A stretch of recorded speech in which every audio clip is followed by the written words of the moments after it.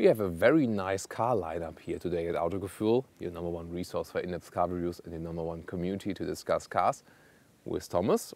And we also have another special episode because it's about the pictures that you have posted. And recently I've, um, you know, told you to put some more pictures, especially on Instagram, and that worked very well. We had some really marvelous shots, and I want to present them to you today. And later on, I mean, if you've watched the episode and also want to send in your pictures, always just use the hashtag Autogefühl.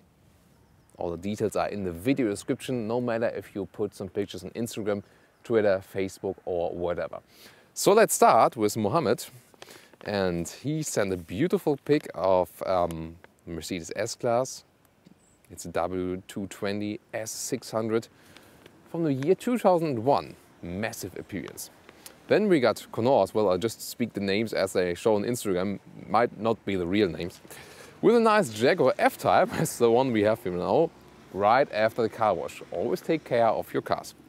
Then James sends us his, I guess it's Infiniti Q50, also uh, after an intensive car wash, that car wash theme seems to be, you know, pretty popular right now. oh wow, this is a dream Passat, a Passat Alltrack, and this one was bought after seeing our review. Glad we could help there, and definitely a Passat Alltrack is, you know, also one of my favorite Passat versions. Patrick from Germany. Hallo, viele Grüße nach Deutschland with his massive Honda Civic Type R. Yeah, let's go racing. And the Civic Type R will also soon be in an Autogefühl review.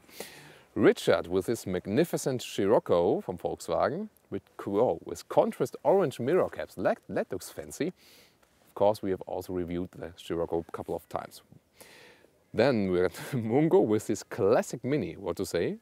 I would say just classic.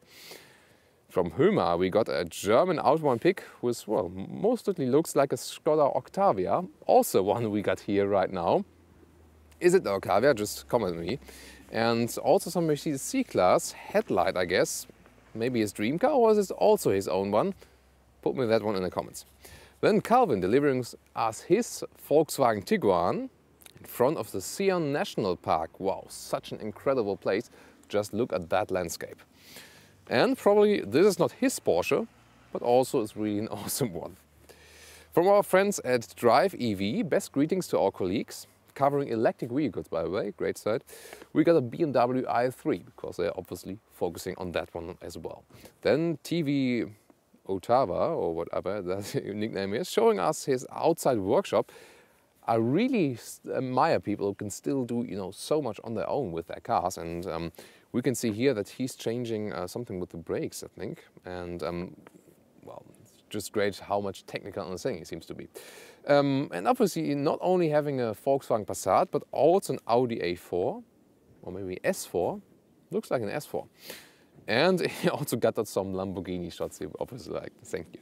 Then Cetos Cloud, great Mazda 6 past and present comparison. You see how automotive design goes there, very interesting and I'm always looking great that into, you know, when you see that car evolution. And he's also showing himself, way to go man, show us yourself more often guys, that's really great. And also a beautiful landscape we've seen here. Well, where is it actually? Here with snow as well. Give me the info what landscape that is.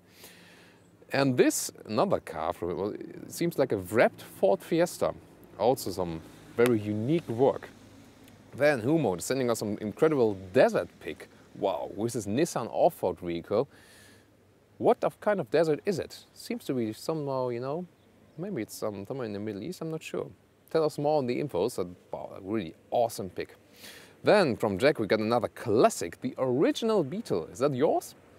Designed by Ferdinand Porsche, by the way. And, um, well, probably most of you know that. And then, whoa, that looks familiar.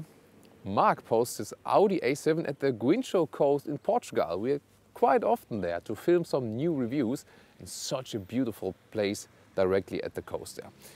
Then Dusan, he was a collage of this Alfa 147. Holger, one of our team members, he had that car um, uh, once and uh, definitely a very beautiful car, even if the taillights, you have to switch them like once a year.